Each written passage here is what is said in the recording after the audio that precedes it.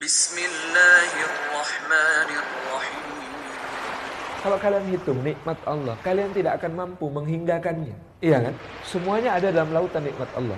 Tapi di dunia ini ada orang yang positif, ada orang yang negatif. Yang positif adalah yang pakai alat selam, yang menyelam.